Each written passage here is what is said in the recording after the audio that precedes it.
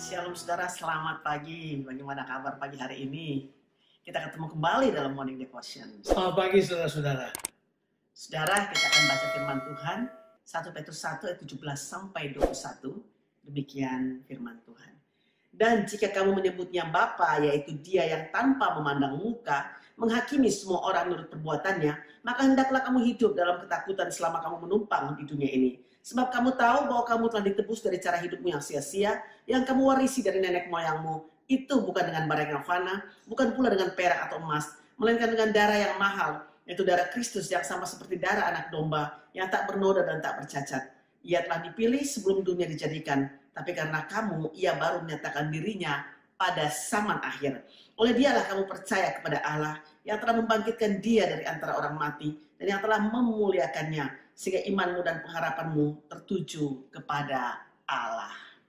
Saudaraku dalam pembacaan firman Tuhan ini, Petrus menekankan bahwa kita harus serius untuk berurusan dengan kehidupan yang kudus dan tidak bermain-main dengan dosa.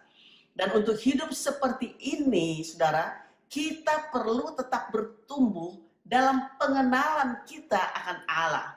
Karena dia adalah Allah yang tidak memandang muka dan dia menghakimi semua orang. Dalam ayat yang ke-17 kita menemukan bahwa Bapa itu adalah Bapa yang menghakimi. Tapi kata yang dimaksud dengan menghakimi di situ tidak berurusan dengan keselamatan. Bagi kita orang yang percaya, kita diselamatkan bukan karena perbuatan baik kita. Kita diselamatkan karena kasih karunia dan iman kepada Tuhan Yesus Kristus yang menyelamatkan kita. Kata menghakimi di sini atau kata nanti kita bakal dihakimi satu saat berurusan dengan apa yang disebut dengan tahta pengadilan Kristus atau kita kenal dengan kata bema yang tertulis dalam 2 Korintus pasal 5 ayat yang ke-9 dan ayat yang ke-10 di mana di situ orang dihakimi bukan untuk dihukum atau dibinasakan tapi dihakimi untuk mendapatkan upah Berarti di sini sebenarnya penghakiman itu tidak berurusan dengan keselamatan.